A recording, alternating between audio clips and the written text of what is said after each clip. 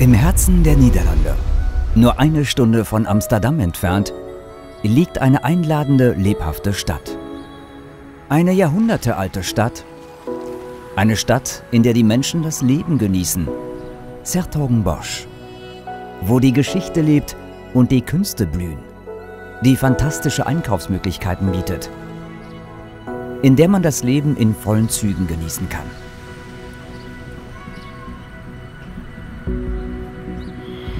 Besonders im Jahr 2016, wenn Sertogenbosch seinem weltberühmten Sohn Hieronymus Bosch, den bedeutendsten niederländischen Maler des Mittelalters, gedenken wird, der in der Stadt lebte und arbeitete und hier seine grotesken Monster schuf.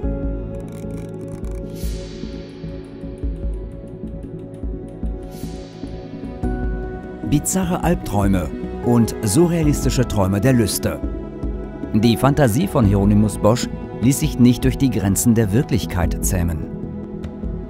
Mit seiner erfindungsreichen, seltsam anmutenden visuellen Sprache gelang es ihm Auftraggeber und Bewunderer aus ganz Europa zu inspirieren. Die weltbekannten Werke von Hieronymus Bosch spiegeln das Leben im 15. Jahrhundert voller Verseuchung und Sünde wie nie zuvor.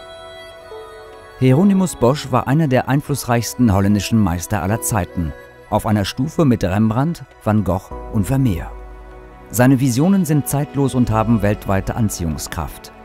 Dies galt vor 500 Jahren und auch heute noch. Hieronymus Bosch starb im Jahr 1516. Jetzt, 500 Jahre danach, wird dem unvergleichlichen Maler stilvoll gedacht.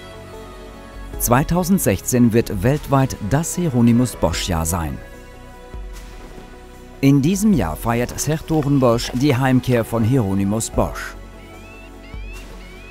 Eine große Anzahl seiner Werke, die derzeit im Besitz renommierter Museen in Amerika und Europa sind, wird heimkehren. Bewundern Sie seine Gemälde in der Stadt, in der sie geschaffen wurden. Zertoren feiert das Leben und Werk von Hieronymus Bosch besuchen auch sie die Feiern im Jahr 2016. Mit einem umfangreichen Ausstellungsprogramm, Performances, verschiedenen Festivals, Vorträgen und einer speziellen Bosch-Erlebnistour durch seine Stadt.